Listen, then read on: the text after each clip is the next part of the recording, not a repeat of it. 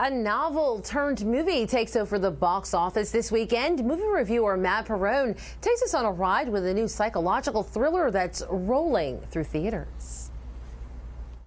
Welcome to a post Hurricane Monday. I've been on vacation the last two Mondays, which is the longest I've gone without seeing a movie in who knows when. But it's back to business as usual. It was a rather slow weekend at the box office, and as interested as I was in seeing Birth of a Nation, I had to go with the clear cut winner.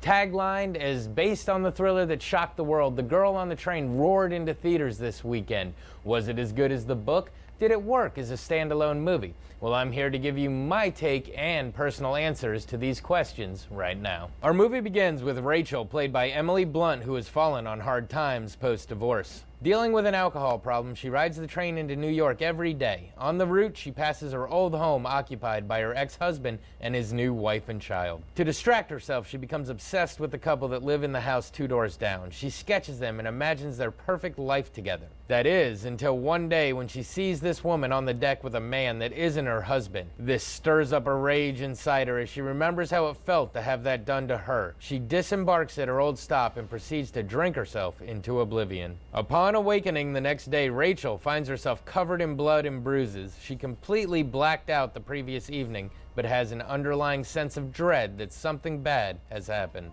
It soon comes to light that Megan Hipwell, the woman that Rachel has been watching obsessively from the train, has gone missing. Having caused a scene in the area that fateful evening brings the cops to Rachel, asking questions that she has no answers to, which paints her in a suspicious light. As the movie progresses, Rachel finds herself drawn into the mystery from all sides. Even though she is trying to find out what happened, her actions continue to draw more suspicion towards herself, along with circumstances that happen to fall into place. Before long, a web has been woven between the past and the present, with numerous people snared in the mystery. All the while, Rachel can feel that there is a solution tugging at the back of her brain if only she could remember the night in question. As the pieces start to fall into place, we as the audience wait to see what the final outcome will be and if there is a monster lurking in the shadows. So, while on my vacation and driving to the Midwest, I actually listened to the book, so it was fresh on my mind when I was sitting in the theater. Looking back, I'm not not sure if I'm glad that I did the book first or not. While I was watching it, I definitely had the feeling that if I hadn't read the book, the movie would be hard to follow, which may be why people are giving it such bad reviews. At the same time, I kept wondering would it be more exciting if I didn't already know how it was going to end.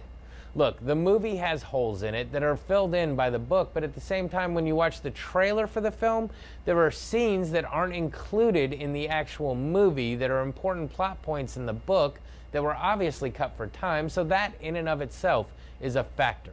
All in all, it's a pretty good adaptation and actually has some parts in it that are better than the book. As a standalone movie, it's a good thriller. But just realize if there are things that confuse you, they are explained in the book and possibly in the deleted scenes. Look, if you haven't read the book, it's a pretty good little thriller. But if you have read the book, then of course you got to go see it so you can be the educated person in the room saying, oh, the book was so much better than the movie. This is why, and explaining the parts that your friends don't understand. Well, this has been your Monday Movie Musing. Back to you. All right. Well, welcome back, Matt. And maybe I will wait to read the book until after I see the movie. All right. Keep it here. We have one last look at your seven day outlook next, live from Main and Gervais.